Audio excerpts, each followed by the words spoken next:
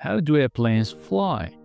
The complete sense of lift, thrust, and control. Flying is one of the greatest achievements of human engineering. Yet, for many people, it remains a mystery. How can a massive metal machine, often weighing hundreds of tons, lift off the ground and stay in the air? What forces make flight possible? At first glance, it seems almost magical, but in reality, flying is based on well understood principles of physics. The science behind flight is a combination of aerodynamics, engineering, and precise control mechanism that allows pilots to maneuver aircraft with incredible precision. In this video, we will break down the complete science of how airplanes fly covering the fundamental forces that keeps an aircraft in the air, lift, thrust, drag, and weight, as well as the crucial role of flight control surfaces that allow pilots to steer, climb, and descend safely. By the end, you will have a clear understanding of the fascinating mechanics that allow airplanes to defy gravity and travel across the world. The full forces of flight for an airplane to take off stay in the air, and land safely. It must interact with four fundamental forces. These forces, lift, thrust, drag, and weight or gravity, work together to create and control flight. The number one is the lift, the force that overcomes gravity. Lift is the key force that allows an airplane to raise into the sky. But where does lift comes from? The answer lies in the shape of airplane's wings. Aircraft wings are designed with a special shape known as the airfoil. When air flows over and under the wings, it moves at different speeds due to the wing's curvature. The air moving over the top of the wings has to travel faster, creating low pressure. The air moving below the wing travels slower, creating high pressure. This pressure difference creates an upward force known as lift, which pushes the airplanes into the air. This principle is explained by Bernoulli's principle, which states that faster moving air has lower pressure. However, lift alone isn't enough. The plane also needs forward motion, which brings us to the second force, it means thrust the force that moves the plane forward. Thrust is the force that propels an airplane towards. This force is generated by engines, which can be either jet engines or propellers. Jet engines works by sucking in air, compressing it, mixing it with fuel, and igniting it. The rapid expansion of hot gases pushes the aircraft forward. Propeller-driven planes create thrust by pulling a backboard with spinning blades, which moves the aircraft forward. The stronger the thrust, the faster the airplane moves. And as the plane speeds up, more air flows over the wings, increasing lift. Once lift exceeds the plane's weight, the aircraft takes off.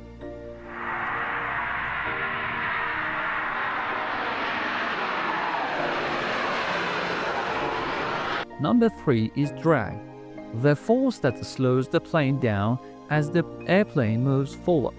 It encounters drag, which is the resistance of air against the aircraft movement. Drag is caused by two main factors, friction drag and pressure drag. Air rubbing against the surface of the plane, and the pressure drag is the difference in air pressure in front of and behind the aircraft. Engineers designed airplanes to minimize drag by using sleek aerodynamic shapes, allowing them to fly more efficiently. However, some amount of drag is always present, requiring constant thrust to maintain speed. And the last force is weight or gravity, the force that pulls the plane down. Weight or gravity is the force that pulls the airplane toward the earth. To keep an aircraft in the air, lift must contract weight. If lift is greater than weight, the plane climbs. If lift equal weight, the plane maintains altitude. If lift is less than weight, the plane descends. Balancing these four forces, lift, thrust, drag, and weight is what allows an airplane flight smoothly. But there is a question. How pilots control an airplane? Now that we understand how an airplane stays in the air, let's explore how it moves and, and changes direction. Pilots control aircraft using control surfaces which adjust airflow and change the aircraft's orientation in three dimensions. Number 1. Ailerons, rolling left and right. Ailerons are small flaps located on the trailing edge of the wings. They control roll, which move the airplane to the left or right. When the right aileron goes up and left aileron goes down, the right wing moves down and the left wing moves up, which making the plane roll left. When the left aileron goes up and the right aileron goes down, the plane rolls right. Roll is essential for making turns in the air. Number 2 is elevators, climbing and descending. Elevators are located on the tail's horizontal stabilizer and control pitch, the up and down movements of an airplane's nose. When the elevator moves up, the nose rises and the plane climbs. When the elevator moves down, the nose lowers and the plane descends. By adjusting pitch, pilots control altitude changes during takeoff, landing, and cruising. Number 3 is rudder. Turning the nose left and right, the rudder is a vertical flaps on the tail's vertical stabilizer. It controls yaw, which turns the airplane's nose left or right. Moving the rudder left turns the nose left. Moving the rudder right, turn the nose right. However, rudder movement alone doesn't make a plane turn.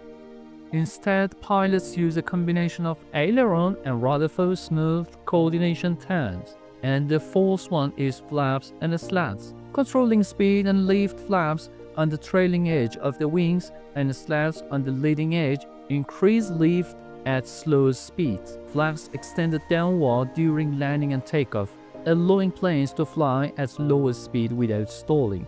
As slats moves forward, increasing the wing's surface area and improve lift. These surfaces are critical during takeoff and landing when the aircraft needs more lift at lower speed. But let's know how planes stay stable in the air. Why flying airplanes naturally remain stable due to three types of stability. Number one is longitudinal stability or pitch stability. Keep the nose from moving too much up or down. Number two is lateral stability or roll stability. Prevents the wings from tripping too much side to side. Number three is directional stability or yaw stability. Ensures the plane stays pointed in the right direction. Engineers design aircraft with features like dihedral wings, balancing weight distribution and automatic flight control system to maintain stability even in turbulence. And in final words, so how do the planes fly? The answer lies in the dedicated balance of lift, thrust, drag, and weight, combined with precise pilot control using ailerons, elevators, rudders, flaps, and slats. Modern aviation is a perfect blend of science, engineering, and technology, allowing aircraft to fly safely across vast distances. Whether you're traveling on a short domestic flight or a long-haul international journey, every airplane relies on three principles to take off, cruise, and land smoothly. Next time you're aboard on a flight, you will have a deeper appreciation for the incredible forces and engineering that make flying possible. So sit back, relax, and enjoy the journey knowing that the science of flying is walking seamlessly around you.